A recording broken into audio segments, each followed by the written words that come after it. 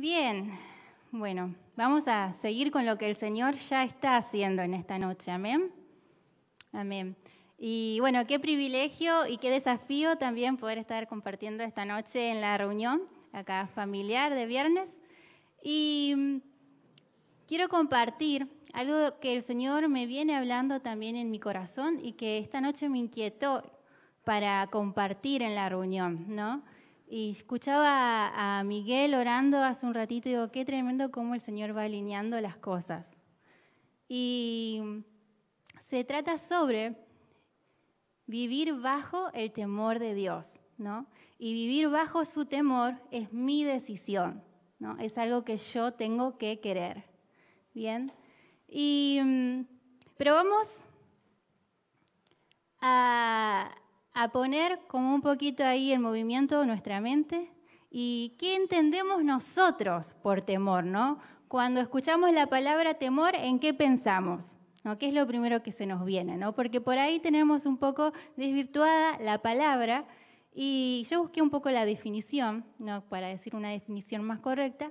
Dice, hay diferentes tipos de temor ¿no? y diferentes significados. Por ejemplo, uno de ellos es el miedo un sentimiento que experimenta una persona ante algo considerado negativo.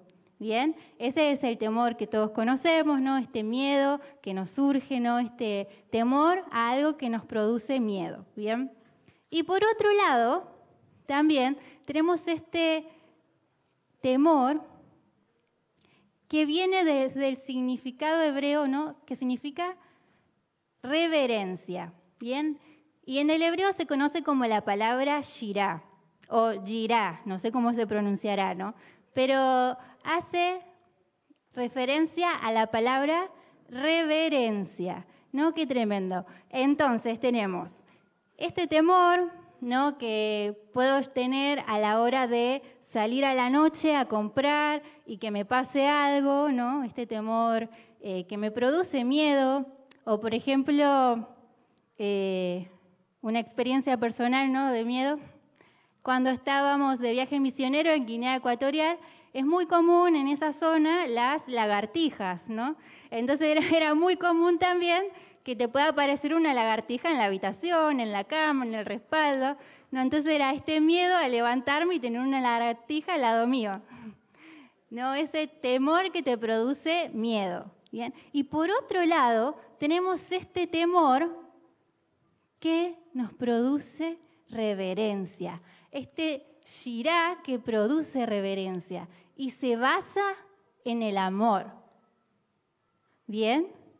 Entonces, ahí vamos a un versículo muy conocido que está en Proverbios 1.7.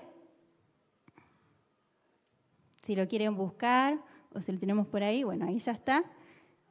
Eh, bueno, y es el principio del conocimiento. El temor del Señor es el principio del conocimiento. Los necios desprecian la sabiduría y la disciplina.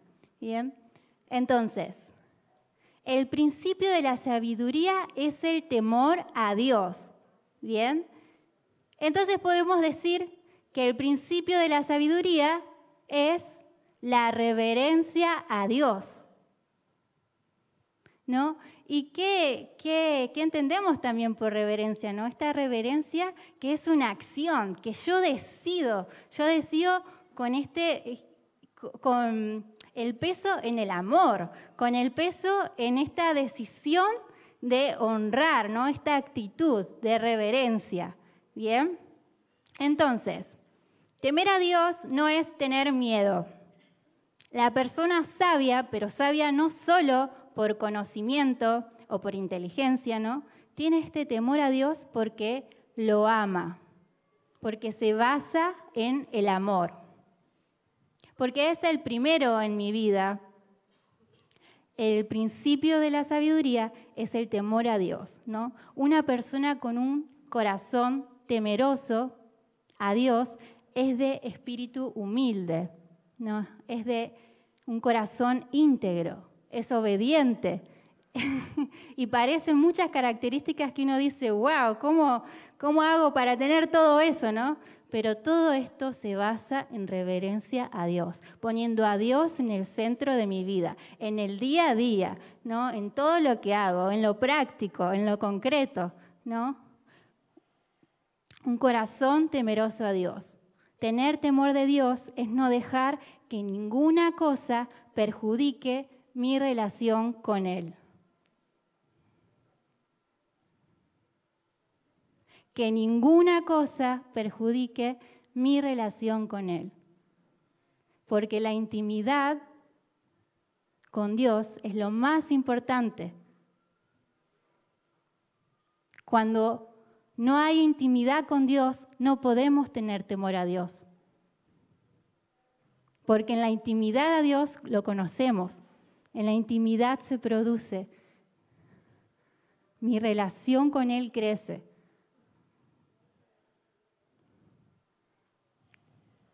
Y ahí vamos a ver en la historia de Job, Job 1, del 1 al 8.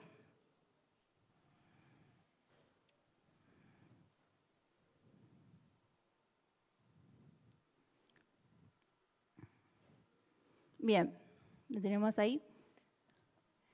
En la región de Uz, para atrás, en la región de Uz había un hombre recto e intachable que temía a Dios y vivía apartado del mal. Este hombre se llamaba Job. Tenía siete hijos y tres hijas. Era dueño de siete mil ovejas, tres mil camellos, 500 yuntas de bueyes y 500 asnas, y su servidumbre era muy numerosa. Entre todos los habitantes del oriente era el personaje de mayor renombre. Sus hijos acostumbraban turnarse para celebrar banquetes en sus respectivas casas e invitaban a sus tres hermanas a comer y beber con ellos. Una vez, terminando el ciclo de los banquetes, Job se aseguraba de que sus hijos se purificaran. Muy de mañana ofrecía un holocausto por cada uno de ellos, pues pensaba, tal vez mis hijos hayan pecado y maldecido en su corazón a Dios. Para Job esta era una costumbre cotidiana. Llegó el día en que los ángeles debían hacer acto de presencia ante el Señor y con ellos se presentó también Satanás. Y el Señor le preguntó, ¿de dónde vienes? Vengo de rondar la tierra y de recorrerla, de un extremo a otro, le respondió Satanás. ¿Te has puesto a pensar en mi siervo Job? Volvió a preguntarle el Señor. No hay en la tierra nadie como él. Es un hombre recto e intachable que me honra y vive apartado del mal. Bien, hasta ahí por ahora.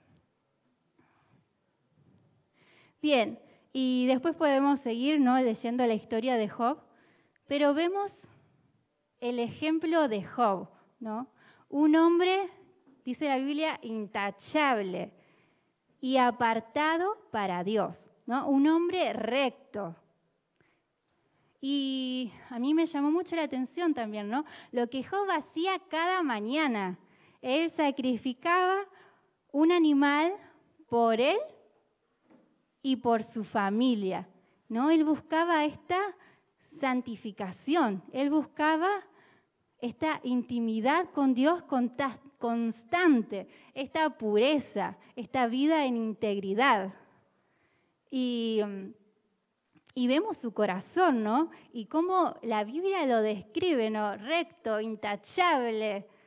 Y, si seguimos leyendo, ¿no? Ahí en la historia, eh, más o menos como al versículo 42 también, vemos cuántas cosas le suceden a Job.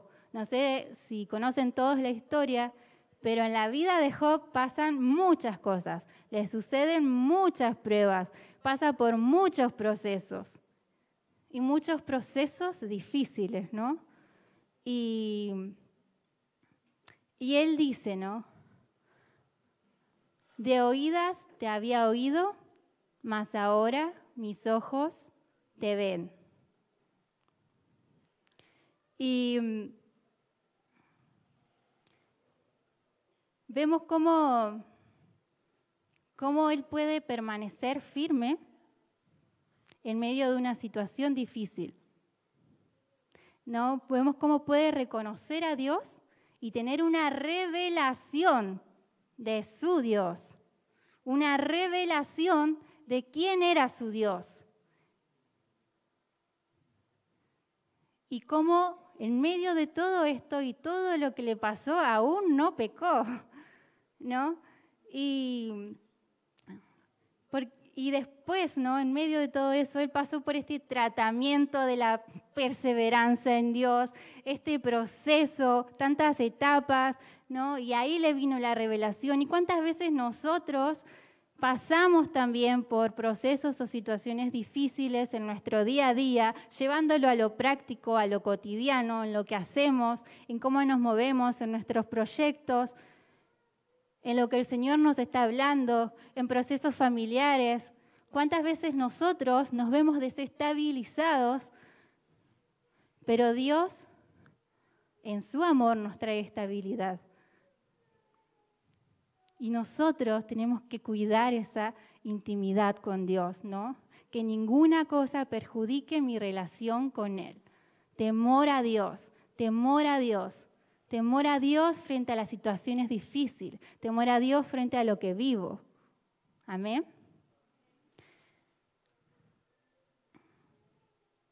Y lo que Job vivió y pasó lo llevó a una relación donde él percibió que Dios era el centro de su vida. Y en todo esto Job no pecó. Ahí nuevamente, no repito. El temor a Dios es una relación íntima y verdadera con Dios. Es un reconocimiento.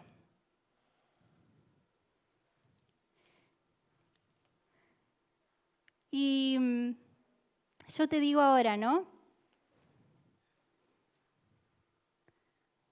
Haciendo una similitud,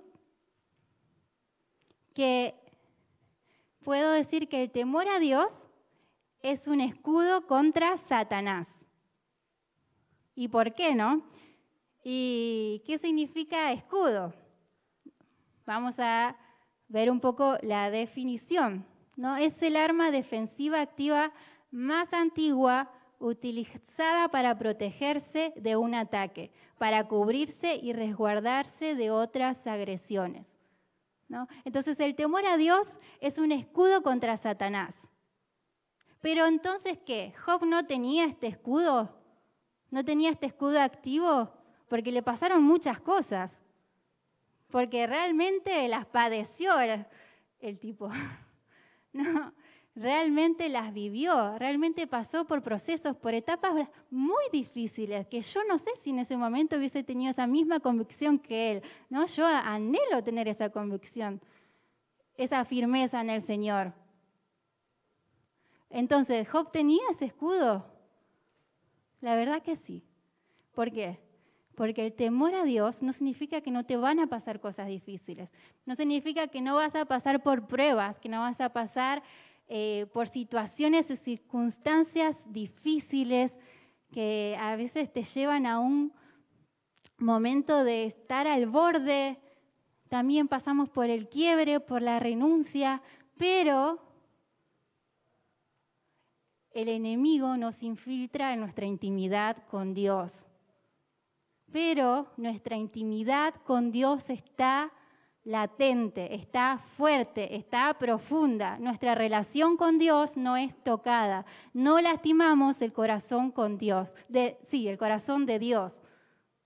Y en eso es tener el escudo activo, ¿no?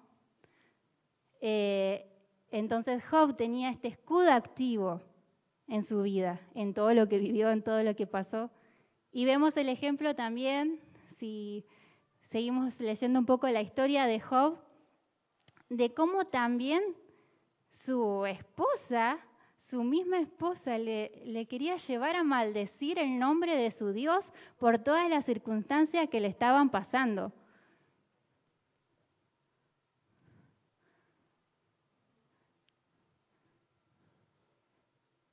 ¿Y cuántas veces nosotros también nos pasan situaciones como estas, no? Pero Él ahí con un espíritu humilde, con un corazón humilde, reconociendo a su Dios, teniendo esta reverencia hacia Él, teniendo una convicción firme, siendo radical en dónde estaba puesta su fe, su mirada, su identidad. ¿No? Entonces, podríamos decir que el temor a Dios es un escudo contra Satanás. Bien. Y ahí vamos a leer Proverbios 8:13.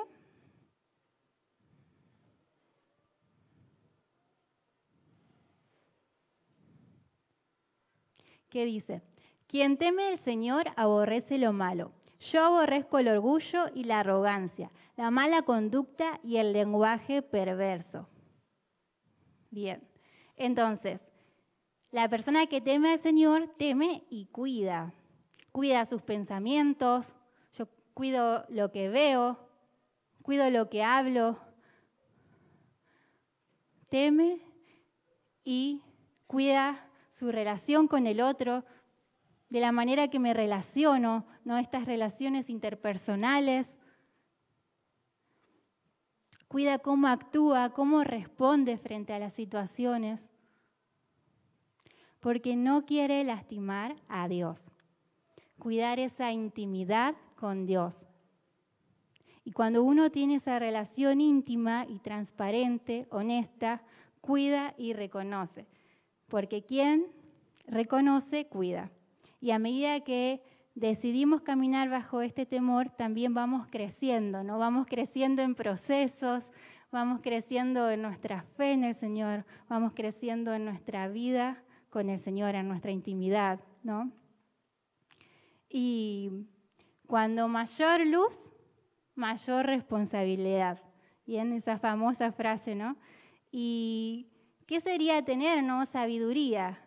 ¿A qué se refiere cuando dice cuando mayor sabiduría, pidan sabiduría? Y no sé si alguno de ustedes en algún momento, en sus tiempos con el Señor, han pedido sabiduría a Dios. Es decir, Señor, dame sabiduría para esto. Señor, yo busco tu sabiduría. Para la escuela de septiembre, dame sabiduría para saber cómo trabajar en esto, cómo trabajar en lo que estoy haciendo, en mi proyecto. Dame sabiduría, pero no sabiduría de inteligencia, sino esta sabiduría que nos lleva a esta reverencia al Señor. ¿No? En Santiago dice que pidan sabiduría a Dios y Él te dará en abundancia. ¿no? Y que Él nos va a equipar, Él nos va a dar las estrategias, Él nos va a encaminar, nos va a redireccionar. ¿no? ¿Y qué es esta sabiduría? ¿no? Esta sabiduría, que el principio de esta sabiduría es el temor a Dios. ¿No? Entonces el principio de esta sabiduría es esta reverencia al Señor en todo lo que hago, es poner al Señor en el centro de todo lo que hago, ponerlo primero, darle este primer lugar en cada área de mi vida. Es un trabajo diario, es un trabajo de mi día a día, de todo lo que hago. Em, y es por eso que tenemos que tener este escudo activo del temor de Dios en nuestra vida. Amén. Amén. Y esto nos lleva a una vida en obediencia. Y aunque muchas veces no comprendamos, ¿no? yo me acuerdo una frase que compartieron hace, unos años también, que decía, no entiendo, pero obedezco. No, no entiendo, pero obedezco, ¿no? aunque muchas veces no comprendamos. Y también nos lleva a hacer cosas prácticas el temor a Dios, ¿no? Nos lleva a cambiar hábitos, pero no por cosas externas, sino porque lo interno va siendo transformado. Y eso se produce bajo esta relación íntima con el Señor, ¿no? Y la fuente del temor en nosotros es este Espíritu Santo que nos trae la vida en Cristo. Amén. Bueno, Vamos a leer Salmos 33, 8.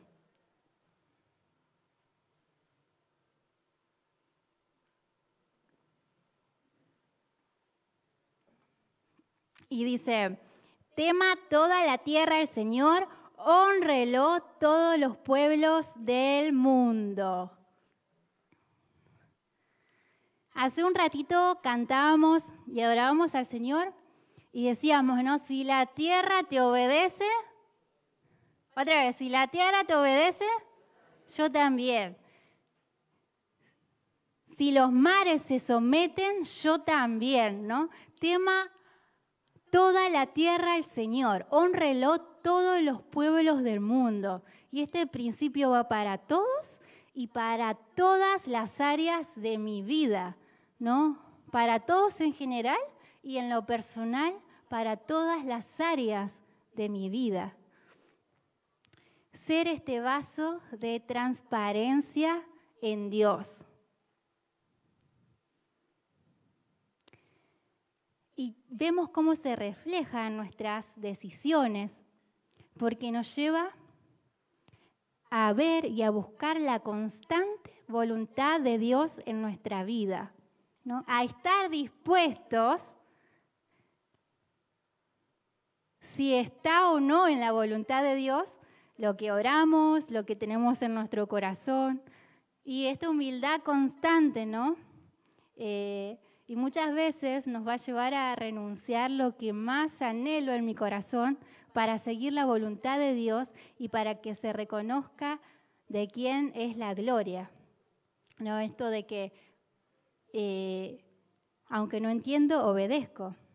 Y unos viernes atrás escuchábamos eh, el testimonio de Gaby Ril, ¿no? que ahora están ya en, ahora en Ucrania y, la familia en Rumania. Y él nos compartía cuántas veces el Señor les habló de renunciar el dinero que ellos tenían destinado hacia los pasajes, a los pasajes como familia. Y tenían ese dinero ahorrado y de repente ahí el Señor les hablaba y ellos iban y renunciaban confiando en el Señor, de que quién tenía la gloria mayor sobre esto, ¿no? Y vemos cómo el Señor respaldó eh, sus, vidas, vemos su fidelidad, la fidelidad de Dios en todo su testimonio como familia, cómo el Señor los está respaldando ahora, cómo el Señor los llevó hasta allá, ¿no? Todo el proceso, ¿no? Corazones temerosos a Dios que podamos anhelar tener estos corazones temerosos a Dios, este corazón de reverencia a Dios, este corazón de reconocer quién es Él en mi vida, basado en el amor. Amén. Bien, vamos ahora a leer Hebreos 12, Hebreos 12, 28.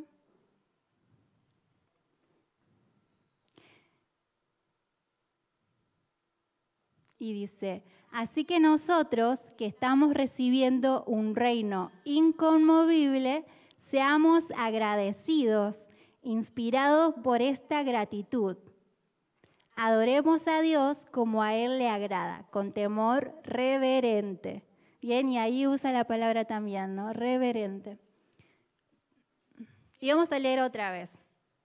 Dice, así que nosotros que estamos recibiendo un reino inconmovible, seamos agradecidos, inspirados por esta gratitud. Adoremos a Dios como a Él le agrada, con temor reverente. ¿no? El temor a Dios nos lleva a un corazón agradecido, nos lleva a vivir en gratitud en cualquier ocasión sea buena o sea mala. Cuando nosotros pensamos que todo va bien y Dios te confronta, pero es porque Él tiene un propósito mejor, tiene un propósito mejor para tu vida, para mi vida, ¿no? Un proyecto para cada uno de nosotros. Y nos lleva a esta integridad también, ¿no? No somos perfectos. pero Él nos perfecciona a través de Jesús. Él nos moldea en cosas pequeñas de nuestra vida, en áreas pequeñas de lo que hacemos en el día a día. Él nos moldea. Discípulos que viven en la verdad.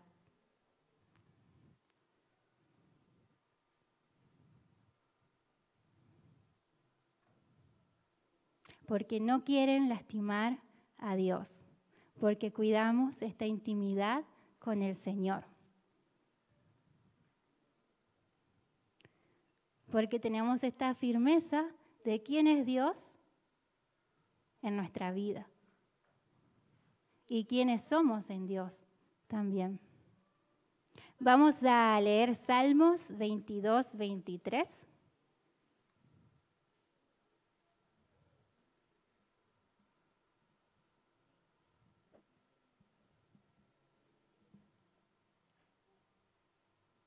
No sé si está por ahí, si no lo busco.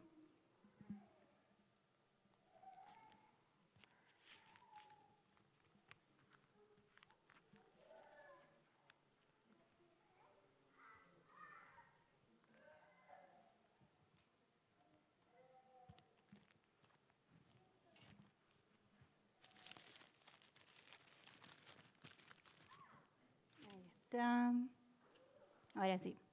Salmos 22, 23. Y dice, los que, los que, los que teméis a Jehová, alabadle, glorificadle, descendencia toda de Jacob, y temedle vosotros, descendencia toda de Israel. Alabadle, glorificadle, y temedle vosotros, ¿no? Que en este temor a Él podamos reconocerlo, reconocer quién es Él, alabarlo, glorificarlo. La gloria no es para nosotros, la gloria es de Dios. No se trata de mí, no se trata de vos, no se trata de nosotros, se trata del Señor. Alabadle y glorificarle, incluso en las malas y como también en las buenas, ¿no?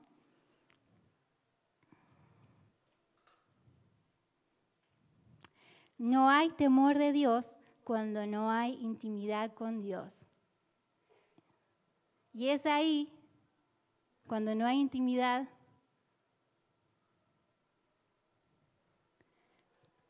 es cuando se convierte en este miedo, ¿no?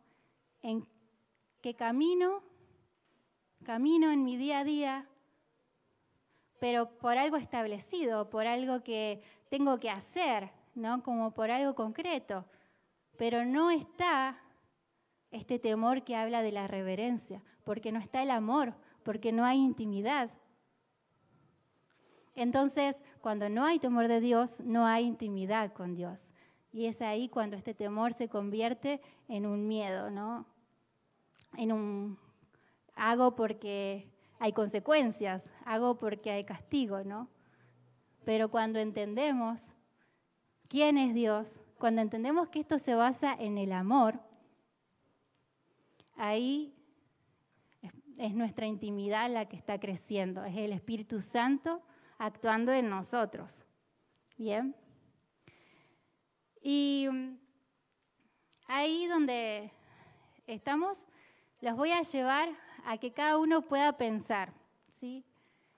Que podamos pensar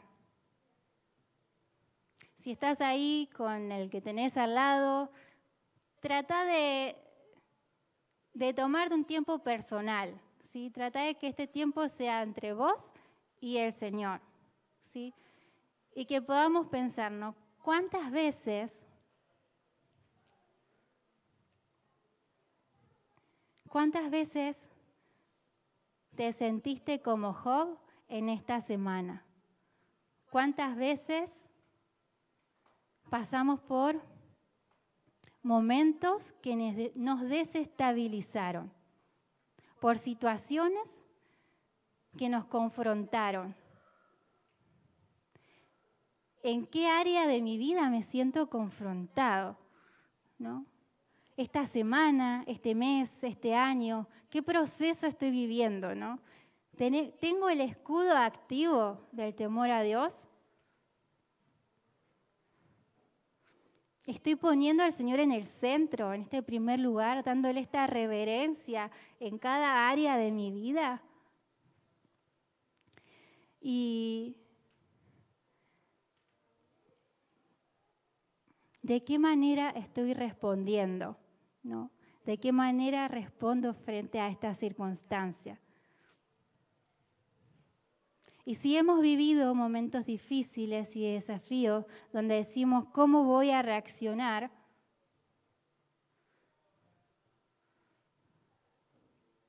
¿Estoy buscando al Señor en primer lugar?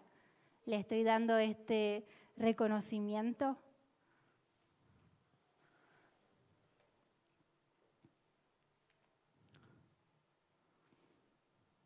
Entonces, vamos a leer Gálatas del 2 al 20, 2.20, perdón, para ya ir como cerrando y terminando.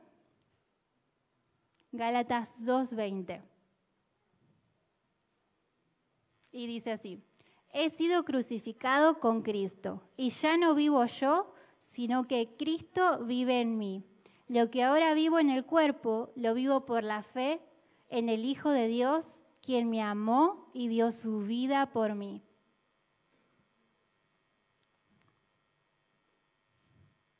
He sido crucificado con Cristo y ya no vivo yo, sino que Cristo vive en mí. Y lo que ahora vivo en el cuerpo, o sea,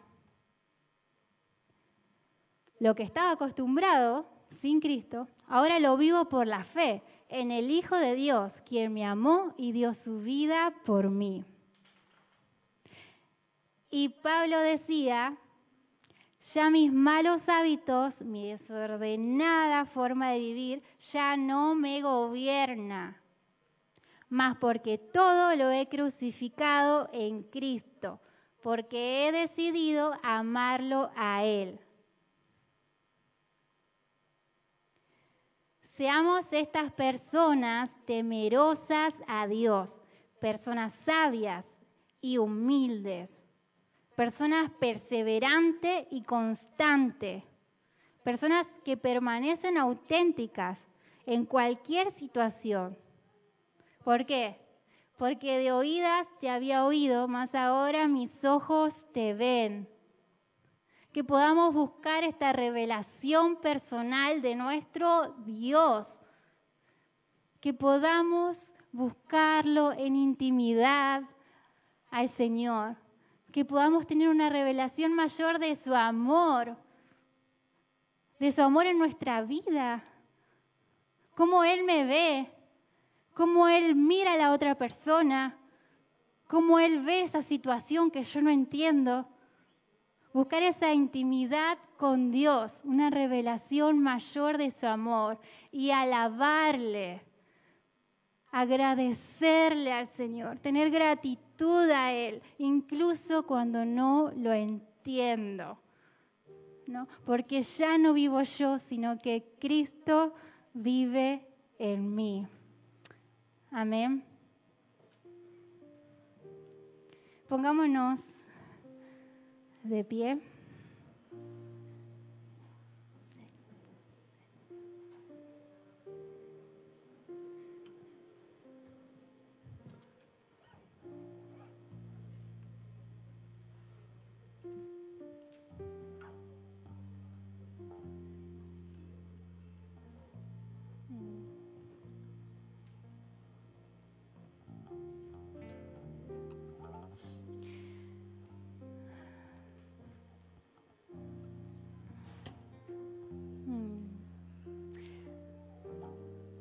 No se trata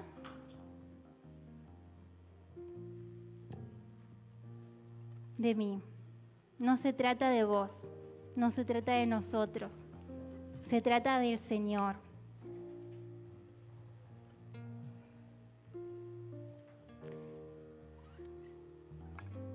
Busquemos esta intimidad con Dios. Busquemos crecer en intimidad con Dios.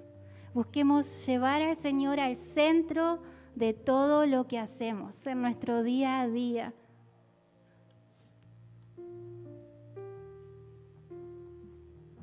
y que nuestro corazón haya este anhelo y este deseo de que nada lastime el corazón de Dios, de que nuestro escudo esté activo y que nada puede infiltrarse en nuestra relación con Dios. Amén.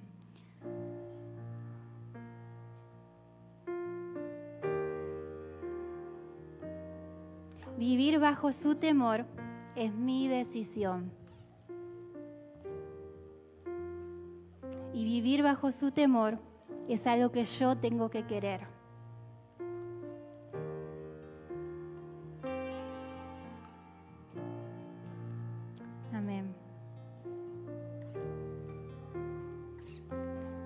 Señor, te reconocemos en esta noche. Señor, te damos este primer lugar a vos. Señor, no queremos que sea algo superficial, sino que vos puedas penetrar nuestro espíritu, nuestra alma, Señor. Señor, seguí hablando a nuestros corazones, Señor. Que podamos traer esta rendición a vos, Señor, este corazón humilde, Señor, y reconocer quién sos en nuestra vida. Señor, darte este primer lugar, este primer lugar en lo que hacemos, este primer lugar en cada área de nuestra vida. Señor, sigue moldeando nuestros corazones, sigue moldeando nuestra persona, nuestro carácter, Señor. Señor, y que nuestro anhelo sea no lastimar tu corazón, Señor, vivir en este temor a Dios, entendiendo que se trata de reverencia a vos, de adorarte, de alabarte, y que se basa en el amor. Señor, así que oramos por una revelación mayor de tu amor, una revelación mayor de tu amor en esta noche, Jesús. Una revelación mayor, Señor, de tu amor. Te adoramos, Jesús. Te adoramos, Señor. Y ahí donde estás, adora al Señor. Ahí donde estás con tus palabras, reconoce a Dios. Reconozcamos al Señor. ¿Quién es el Señor en tu vida? ¿Quién es el Señor en mi vida? Señor, queremos adorarte, queremos llevarlo a la práctica, Señor.